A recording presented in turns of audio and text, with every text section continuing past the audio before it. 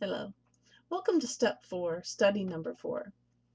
The Jewish people who had returned from Babylon and started to rebuild in Jerusalem were still slaves in the sense that everything they did was taxed or claimed by a king that had conquered them.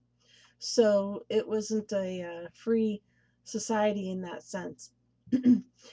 As they were rebuilding the temple and the wall, they were confessing that they had, as we talked about before, they were confessing their sins. And in this particular section of scripture, we're reading that there was a prayer prayed.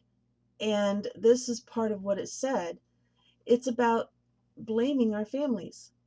Now, how many of us have come from ancestors, parents, grandparents who have done us harm, who have taught us wrong, who have raised us to think even maybe God doesn't even exist? How many of us carry those harms and scars on our bodies? How many of them carry those scars in our minds? And it is tough to consider those things, but it's very real. It's not wrong to say, okay, so and so played a part in my uh, addiction, or that such and such a situation played a part in my addiction there's nothing wrong with that because that's the real picture. But the problem comes when we say, because of the harm that somebody else did to me or because of what somebody else said, I don't have to move forward. I can stay in this addiction and it's fine because I can blame them. So, this is what the prayer, part of the prayer, sounded like. And this is in Nehemiah chapter 9, 34 to 38.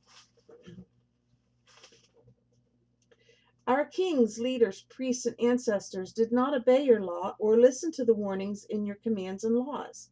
Even while they had their own kingdom, they did not serve you, though you showered your goodness on them. You gave them a large, fertile land, but they refused to turn from their wickedness. So now, today, we are slaves in the land of plenty that you gave our ancestors for their enjoyment. We are slaves here in this good land. The lush produce of this land piles up in the hands of the kings whom you have set over us because of our sins. They have power over us and our livestock. We serve them at their pleasure, and we are in great misery. That's it for now.